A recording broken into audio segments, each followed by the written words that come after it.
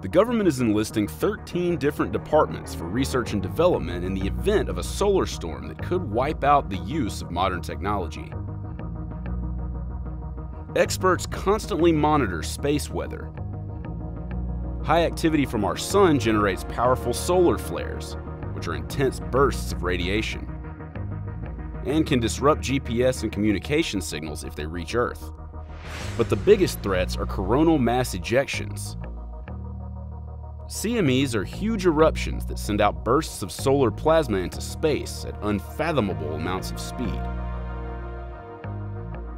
CMEs that hit Earth could spark geomagnetic storms, wiping out power grids and leaving us in the dark. In March 1989, a CME caused a blackout in Quebec. Over 6 million people were without power for nine hours. But the worst CME that ever occurred was in 1859.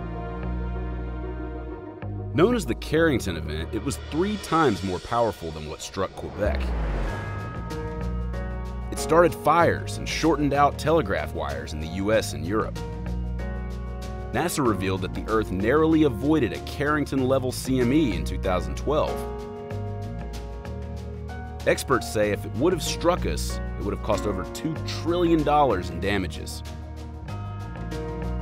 NASA says there's a 12% chance that the Earth will get struck with an extreme solar storm within the next 10 years.